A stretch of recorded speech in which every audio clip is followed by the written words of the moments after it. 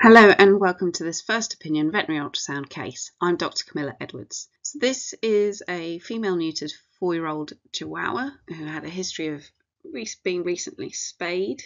But here we could see some jejunal lymph nodes which appeared hypoechoic and enlarged. And we can see the blood vessel that runs between them also. So this is one lymph node here and then with a blood vessel and then the other lymph node on the other side. So we've adjusted the gain um, to um, suit what we're seeing at the moment. Um, and these lymph nodes appear quite dark um, compared to the mesentery, so hypoechoic compared to the mesentery. So this is an image of the liver. We can see the diaphragm down here and we can see the liver parenchyma here. Um, we haven't changed the gain um, since the previous image and now we can see the liver's looking quite dark. Um, but I suspect that's because the mesentery is actually quite bright um, and the liver is, is actually normal. We can see here as well the spleen is looking quite hypoechoic.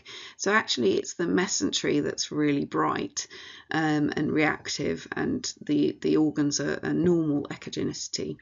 But because we've adjusted um, to the brightness of the mesentery with our gain, um, then the uh, parenchyma of the liver and spleen looks dark.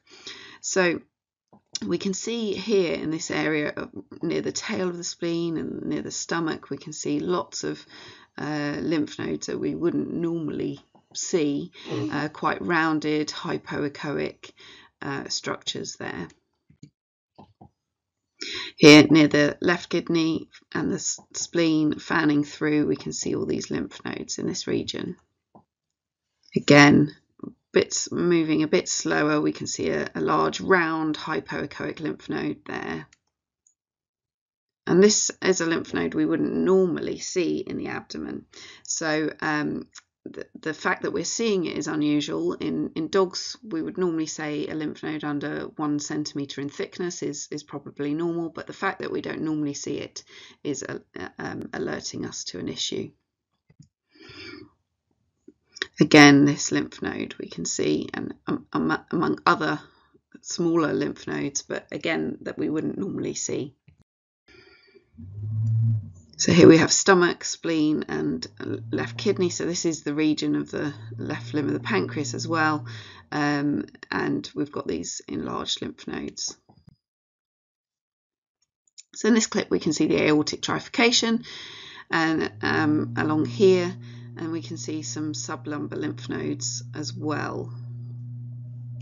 So in this case, we found a very reactive mesentery, no free fluid seen, and there was a generalized lymphadenopathy with enlarged, rounded, and hypoechoic lymph nodes. It's impossible to distinguish neoplasia from inflammatory cause with, here without sampling, but the dog had recently been spayed, so obviously a, big a possibility of inflammation causing reactive lymph nodes, so it'd be wise to repeat this scan after a few weeks to see whether that returned to normal.